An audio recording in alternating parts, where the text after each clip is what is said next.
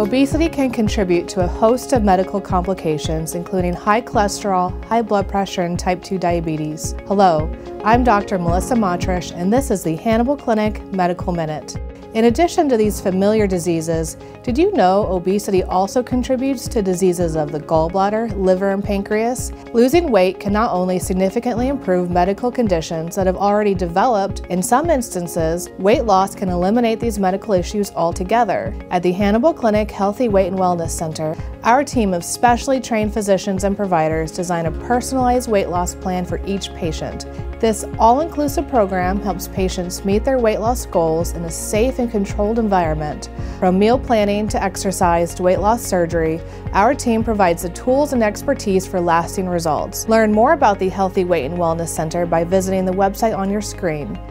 For the Hannibal Clinic Medical Minute, I'm Dr. Melissa Matrisch.